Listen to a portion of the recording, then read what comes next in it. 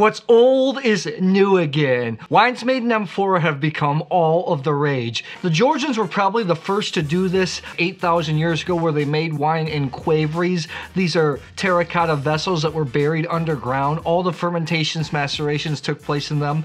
Around that time, it also took place in Armenia where they call it karas. And all over the Mediterranean, places like Greece and Cyprus where they call it pitos. In Portugal, they call it talha. Wines made in amphora have become synonymous with orange wines, natural wines, but all wines made in amphora are not necessarily orange or natural wines. When you make these wines in amphora, the grapes are crushed and then the skins, the seeds, the juice is all thrown into this clay vessel. Their fermentation takes place. Most of the time, amphoras are a little bit wider up top and narrower in the center. That's supposed to increase circulation during the fermentation process. All the skins, the pips, the stems are supposed to fall to the bottom so the wine should clarify naturally naturally. Wine can also be made in amphora. It can be destemmed, it can be crushed, and clear juice can be just thrown in the amphora where fermentation takes place. And we have one of those here today. In that case, the wine is not an orange wine. It looks very similar to a normal white wine. When white grapes are macerated on the skins in amphora, it does become orange wine.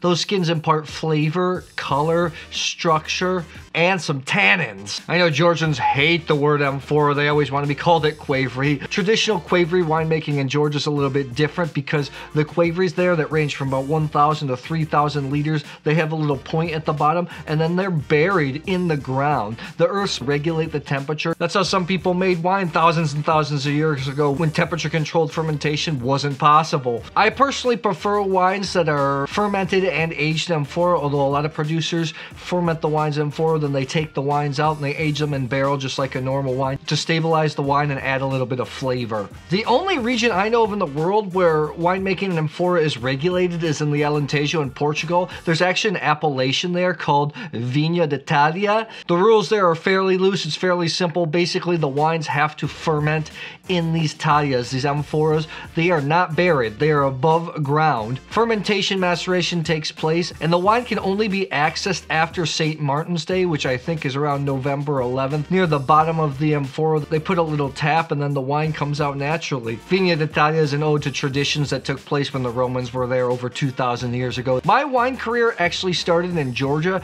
That's where I fell in love with these qvevri wines and I become fascinated with wines all over the world that were made in clay vessels.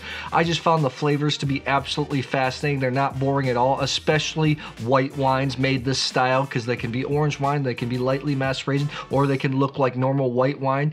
Reds, they can be real similar to classic red wines. One of the producers that really brought it to the forefront was Josko Gravner. He's in Friuli Venezia Giulia, very famous wine. I actually tried to get a sample of that to show you guys because I love those wines, but they don't give out samples. When it comes to these wines, they're usually made in a limited production. It takes a lot of manpower to make them. When it comes to these wines, I don't necessarily think that you're paying for quality. The wines can be fantastic, but you're paying for style, tradition, story, and the producer's artist expression. Okay, I have five different white wines made in amphora from all over the world, all five different countries. I'm not gonna taste these blind because they're all white grapes and they're made with different styles. However, stay tuned to an upcoming video where I am gonna do a blind tasting of red wines made in amphora. Let's get rolling.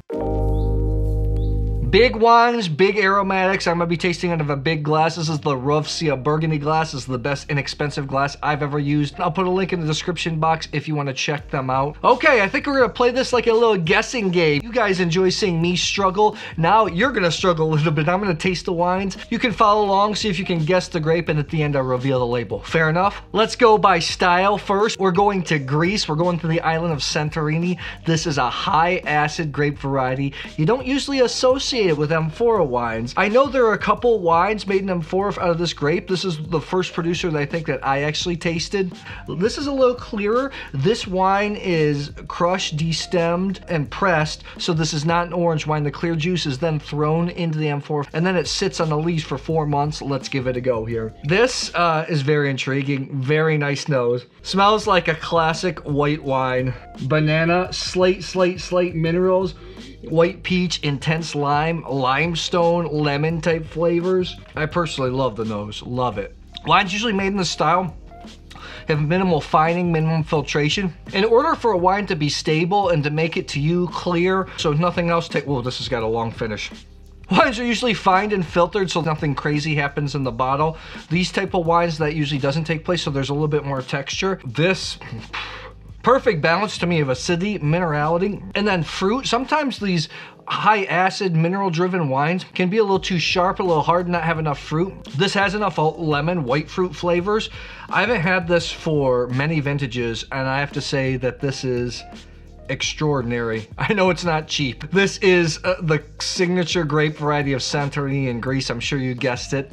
This is Assyrtiko. The Tselepos Laudia Santorini Canava Chrysou 2019, 70 bucks.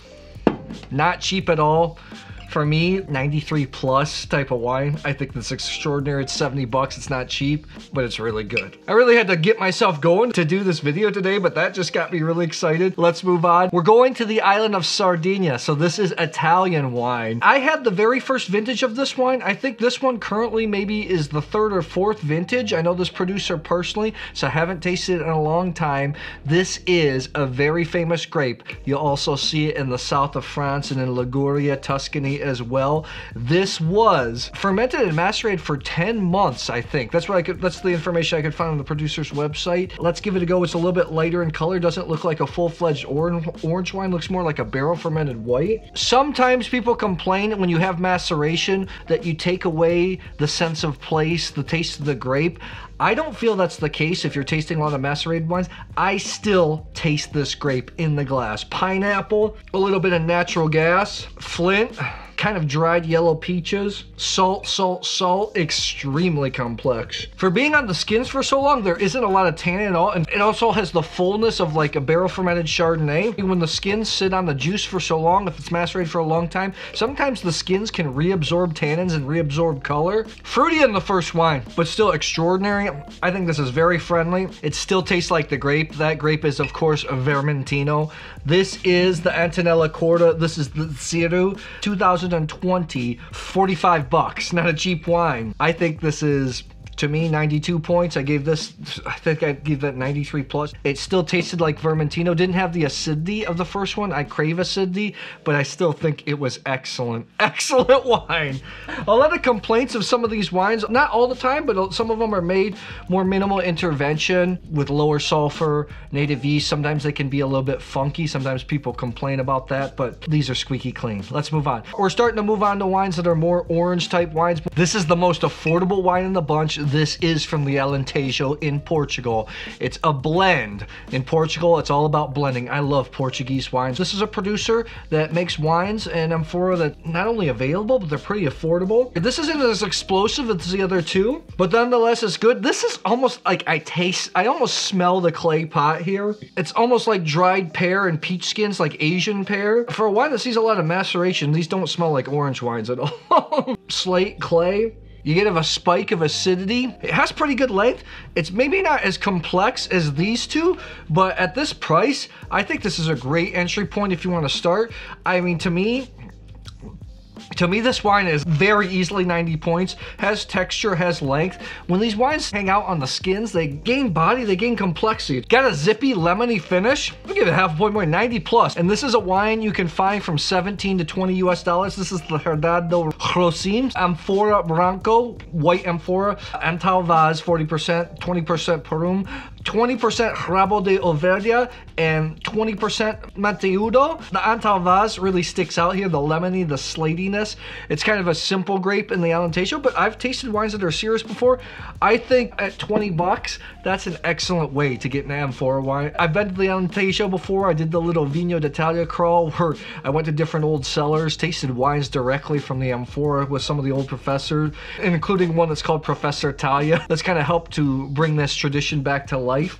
It's a real interesting place. Portuguese wines are usually lower cost in general. I think the Alentejo is a great place to start, great place to look. Next up is a grape that I really like. It's from Istria, Croatia, but it's also grown throughout that North Adriatic region in Slovenia, Friuli, Venezia, Giulia, and Italy. And it's a grape where I think its destiny is to be made in the style wine, and wine that has skin contact, that has maceration. Again, you can make an orange wine without it being made in amphora. This is different than the other three so far because it was fermented, macerated amphora, then it was aged in wood. There are a lot of guys uh, in Croatia that are friends with Joško Gravner. They've traveled to Georgia with him. This is actually made in a Georgian Qvevri. They import Qvevris together, they bury them. This guy claims that he had Qvevris and was making wine before Gravner you know, it's really hard to regulate that. People, you know, the wine industry, it's all about he said, she said.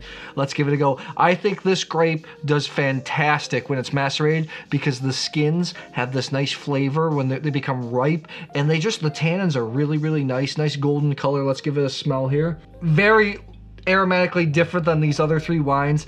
This is very explosive. Lots of dandelion, yellow flower, daffodil come out. Dried apricot, sweet peach, white pepper, tons of white pepper. Full bodied, the tannins are sweet. They have like these sweet peach and sweet apricot flavors. This wine is aromatically a little bit more impressive than the other three. On the palate, it doesn't come together as nicely as like the, the best one right here. So far, the best one for me, number one. It's so funny because in the front, the nose is all nice. There's a little bit dip in the mid palate and then the end palate is great with that sweet fruit.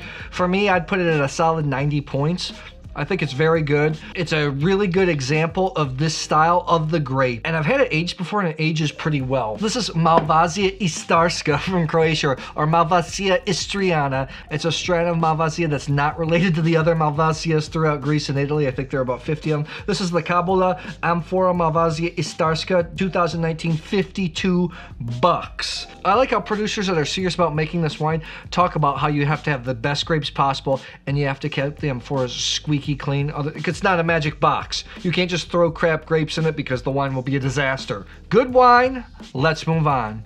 Okay, we're going to the motherland. We're going to Georgia. This is the most common white grape variety in Georgia. It reminds me a little bit of Ribolla Gialla in Italy, Ribolla in Slovenia. Ribolla Gialla is what Gravner uses to make his wine. When Georgia was under Soviet control, they used it because the yields were high. It could be thin and insipid and just acid water when overcropped. However, when it's macerated, I think it's fantastic. The tannins are usually pretty strong, really pretty biting. This has got a deep golden color a little shy, but this is refined stuff here. This is full-fledged orange wine. This is from Kakheti, which is one of the more famous areas in Georgia. It's a gorgeous area. It's like the Napa Valley of Georgia. Huge fertile valley, and in the backdrop, you see the Caucasus Mountains that are the highest mountains in Europe. It's really spectacular place. I'm gonna be back there in September, so I'm excited. This smells leather, dried apricots, dried peaches, a little bit of white pepper, lemon even, a little bit of lemon zest. Has some pretty strong tannins.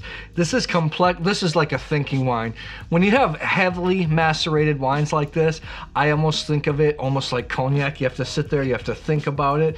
When you have heavily macerated wines like this, I think they go really nice with pork, braised pork dishes especially. Tans on this aren't aren't as strong as I usually expect with this grape. I think it's really good. I think I'm to give it 91 points. Can you guess the variety? It is. It's Rkatsiteli. Rkatsiteli. This is the Chateau Zegaani uh, Kakhuri.